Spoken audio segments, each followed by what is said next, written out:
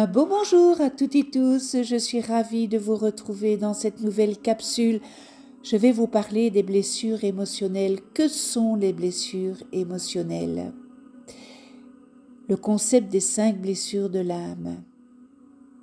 Eh bien, il y a le rejet, l'abandon, la trahison, l'humiliation et l'injustice. Et cela a initialement été mis en lumière dans les travaux de recherche d'un grand, psychiatre pardon, américain, John Pierrakos. Il a été eh bien, le premier à les identifier, à les répertorier et à les observer et surtout à faire le lien très important entre les blessures intérieures et l'apparence humaine. Ce sont de petits ou grands traumatismes, n'est-ce pas? Des expériences difficiles, douloureuses et parfois banales que nous avons vécues entre notre conception et l'âge de six ans environ, et qui ont laissé, eh bien, une forte empreinte qui nous fait surréagir lorsqu'elle se réveille en certaines situations. Ce sont en général, eh bien, nos parents qui les ont involontairement, n'est-ce pas, générés, mais eux-mêmes ont très souvent été blessés par leurs propres parents et ne font que reproduire ces schémas en toute inconscience. On ne doit pas leur en vouloir. Et cette chaîne de souffrance, eh bien, blesse une génération après l'autre depuis les origines de l'humanité. En tous les cas, pour ma part,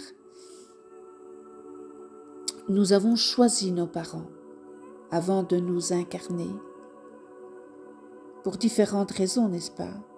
Mais notamment parce qu'ils nous feront vivre certaines expériences, diverses et variées, certaines difficiles, propres à réactiver ces blessures, ce qui est une première étape intéressante, n'est-ce pas? Eh bien, pour les explorer et surtout, surtout, pour les dépasser, pour les transcender. Nous sommes revenus sur Terre pour transcender distorsions. Alors, si par exemple, dans vos différentes vies, vous aviez une blessure d'abandon, vous, c'est-à-dire votre âme, vous choisirez de vous réincarner dans une famille négligente, ou au moins avec des parents qui ne vous donneront pas toute l'affection et l'attention dont vous avez besoin pour vous construire. Ce faisant, vous vous trouverez dans les conditions idéales pour que cette blessure d'abandon se réveille à nouveau en vous, jusqu'à ce qu'un jour, eh bien, vous, vous décidiez de libérer cette, ce, ce rejet, cet abandon parce que vous allez tellement fatigué de souffrir de cet abandon que vous allez travailler pour la libérer. Regardons maintenant les différentes blessures qui existent. Et pour cela, il peut être utile de noter eh bien, les différentes caractéristiques des blessures qui résonnent en nous. Plus nous cernerons nos plus nous reprendrons pouvoir sur eux, et plus ceux-ci perdront de leur puissance. Tout ça n'est pas facile, n'est-ce pas? Les blessures d'enfance représentent euh, un sujet si vaste qu'un tome entier serait nécessaire pour parler d'une seule d'entre elles. Ici, eh bien, je me contenterai de vous donner une petite introduction de chaque blessure. Donc il existe cinq grandes blessures. En un, nous avons le rejet, le rejet pardon. En deux, l'abandon. En trois, l'humiliation. En quatre, la, la trahison. Et en cinq, l'injustice. En un, la blessure de rejet, c'est la première.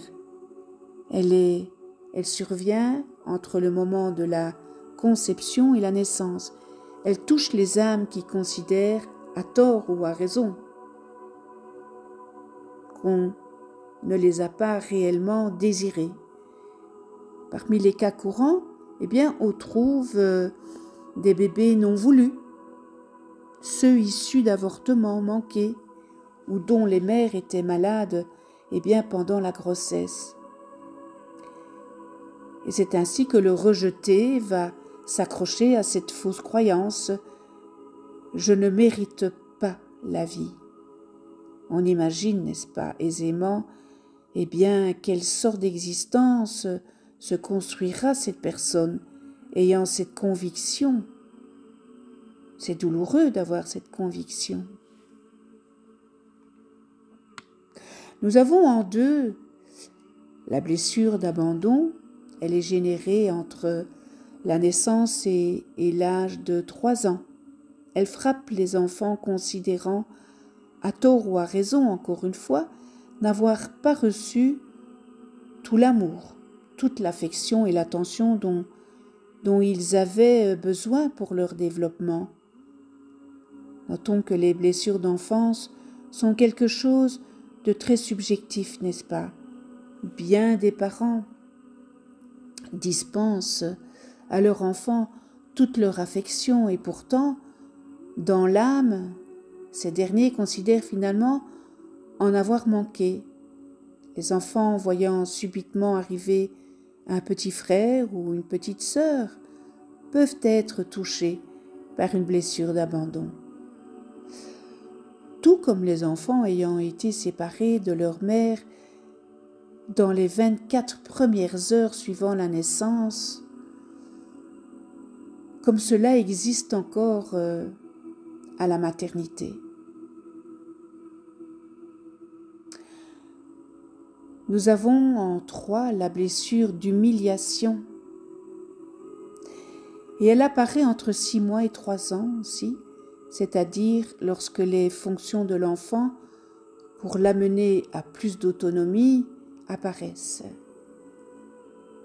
Il commence, l'enfant commence à vouloir manger seul, à marcher, etc. En fait, eh bien, il prend conscience de ne pas faire qu'un avec sa maman, avec qui il était jusque-là en fusion, on peut le dire. Hein la blessure commence lorsque, dans ce parcours vers l'autonomie, l'enfant, son corps ou une de ses fonctions n'ont pas été respectées.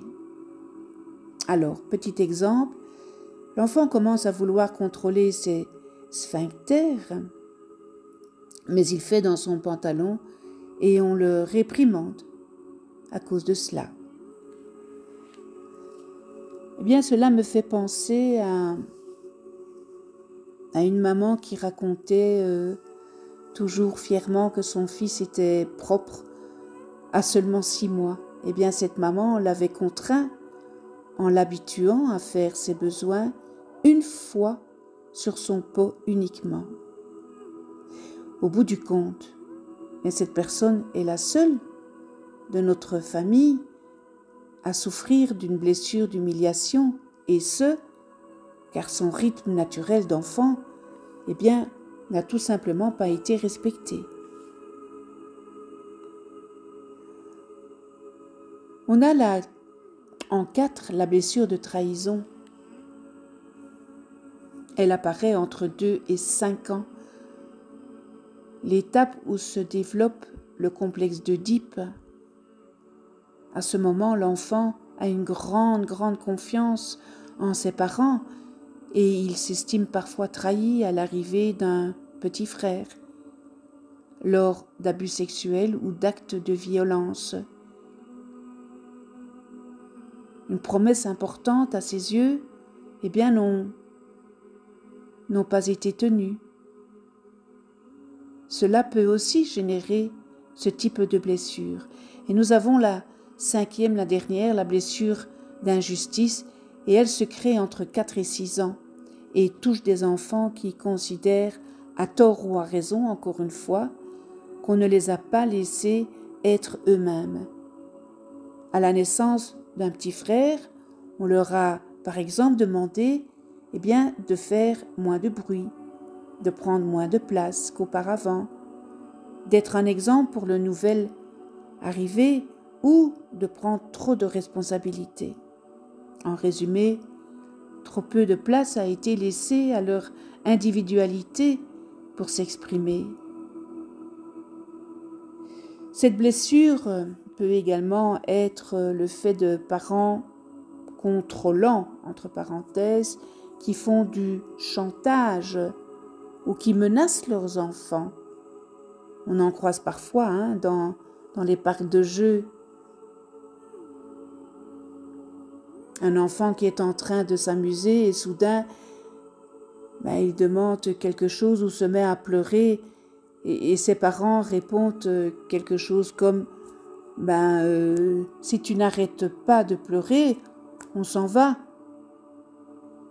Adultes ces enfants risquent fortement d'avoir des problèmes avec le plaisir lequel est au cœur de leur blessure tout ça n'est pas facile à transcender, ces cinq blessures euh, émotionnelles, n'est-ce pas?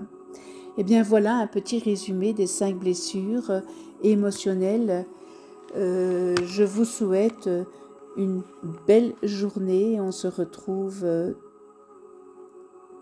très prochainement dans une nouvelle capsule. Je vous dis à tout bientôt. Prenez soin de vous. Beau matin à toutes et tous. On se retrouve, eh bien, pour une nouvelle semaine. Nous sommes dans la troisième semaine de ce mois de juin. Nous sommes lundi 19 juin 2023. Comment allez-vous? Bien, j'espère et que vous avez passé aussi un joli week-end. Nous allons continuer avec guérir de ces blessures émotionnelles parce que ça nous permet de mettre le doigt sur la problématique que nous avons et faire une rétrospection de nous-mêmes et faire un travail sur soi-même à partir du moment où on met le doigt sur ce qui ne va pas. Et nous terminerons avec eh bien la petite carte de l'oracle de fées, des fées, n'est-ce pas? Avant de commencer, Merci mon cercle de lumière de me guider dans mon chemin de vie. Merci mon cercle de lumière de me guider dans mon chemin de vie. Merci mon cercle de lumière de me guider dans mon chemin de vie. Aujourd'hui, bien, j'ai pigé l'amour et la réponse. Alors, avec l'amour, on obtient tout, n'est-ce pas? Et oui, on obtient tout. L'amour rassemble, la haine sépare. Toutes nos quêtes de vie sont finalement, eh bien, des quêtes d'amour. Pourquoi voulons, voulons-nous être le plus fort? Pourquoi voulons-nous être euh, le plus beau, le plus riche, pour être aimé de nous-mêmes et d'autres. Que cherchons-nous dans le conflit, dans la dépendance, dans le contrôle, dans la recherche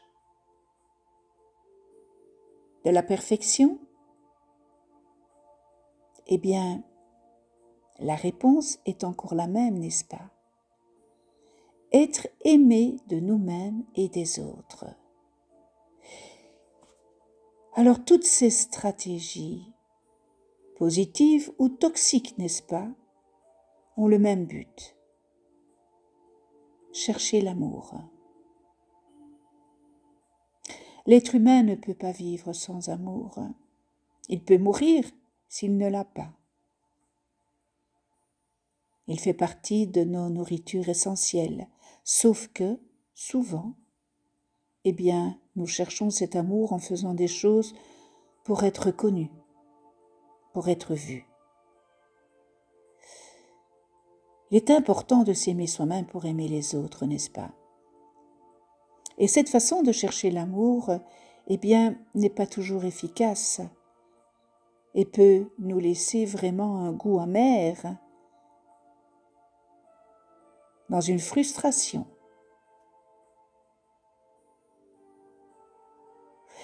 Cette carte, n'est-ce pas Elle est en premier lieu euh, pour mettre la lumière sur vos stratégies pour attirer l'amour. Elle n'est pas là pour vous juger, n'est-ce pas? Avec qui? Dans quelle situation? Quels moyens déployez-vous pour arriver à vos fins? Est-ce que vous vous sentez comblé en faisant cela? Posez-vous la question. Et cette carte, elle est aussi là pour vous rappeler que l'amour, votre amour, est la réponse. Et en même temps, n'est-ce pas, s'aimer soi, cela ne va pas forcément de soi. On ne nous l'a pas appris, n'est-ce pas? Bien au contraire. Et pourtant, et pourtant c'est la base de la relation avec soi. Vous savez, vous pouvez apprendre à vous aimer et à cultiver l'estime de vous au quotidien, au quotidien, pardon, en reconnaissant l'être unique que vous êtes, parce que vous êtes un être unique, même si vous n'avez pas encore atteint votre idéal. Alors s'aimer, s'aimer, c'est accepter toutes les parts de son humanité et d'en prendre soin c'est important. Et cela est parfaitement, eh bien, à votre portée, vous savez le faire. Vous pouvez le faire si vous le désirez.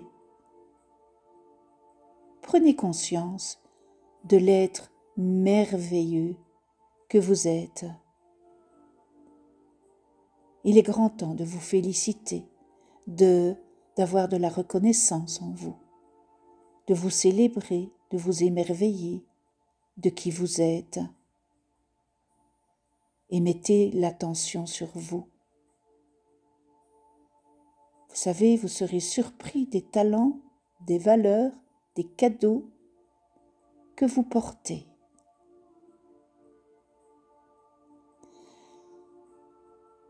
Aujourd'hui, j'apprends à m'aimer pas à pas. Je reconnais l'être unique que je suis J'accepte peu à peu toutes les parties de mon humanité et j'en prends soin. Répétez ça trois fois. Quel beau message, n'est-ce pas? Et prendre conscience